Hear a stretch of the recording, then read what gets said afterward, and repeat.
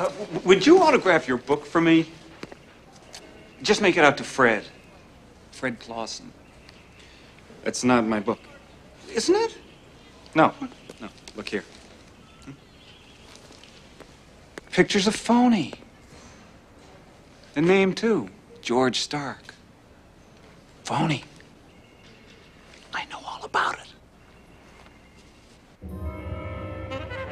It's my turn to be storyteller, okay?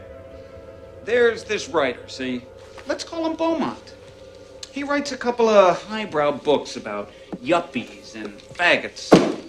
The critics rave, but nobody buys. So, he changes his style. He starts writing about tits and tough guys. He dreams up this badass character. A machine. Yeah. Alexis Machine. He calls himself George Stark. I guess so maybe his mother won't find out he's writing this shit. He slaps a phony picture on the back, boom. He sells a million copies. So he writes three more of these things. Boom, boom, boom. They all hit the charts. He gets rich. Not that rich. Rich enough, I think. rich enough. So what's he gonna write next? He's gonna write me a nice big check if he wants me to keep my mouth shut about this. And if he doesn't want? What if he doesn't care what you do? Oh, he wants. He cares. And if he doesn't, the people around him do. They got a major league scam going here.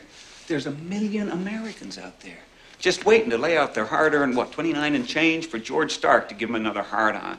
They believe in George Stark. They believe he's writing about shit he knows, shit that he's maybe even done. They find out they've been lied to, that 29 and change might just go back in the pocket. And I don't think you or the people around you want to take that chance.